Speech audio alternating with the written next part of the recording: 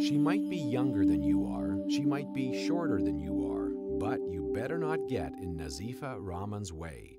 She started volunteering at the Ability Society when her brother Ridwan was diagnosed with autism. Her enthusiasm and drive led her to eventually become the youngest employee ever hired by the Ability Society.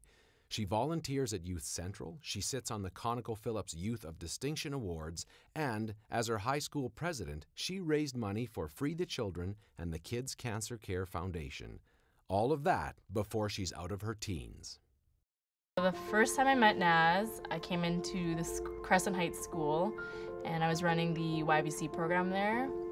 And I just noticed that her leadership and her willingness to have ideas in the club. She's a very passionate young lady, and it's that passion that drives her into doing the things that she does. So Naz was our student council president, but it wasn't what you traditionally think of as a student council president her goal was to create a mini We Day in our school, which is where you bring in speakers and positive role models and you bring in the talent. So Naz spoke about her role as a mentor and, and wanting to make the change in, in the beliefs about children with special needs. When you meet her, she's such an empowering leader.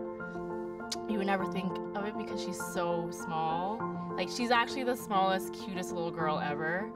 But like when you see her, she can totally command a room and youth will listen to her because she's humble and she's genuine. As his brother, well, he's disabled. He has severe special needs um, and Naz looks after him. She takes care of him. She wants to be helpful. She's a good sibling because she's always looking for that.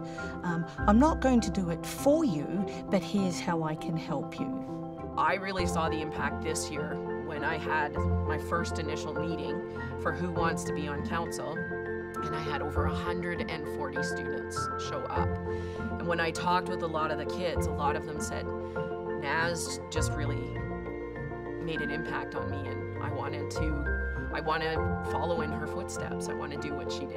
When she is presented with something, it's not ever done halfways. It's always done to expectation and then some because she's so passionate about what she's doing.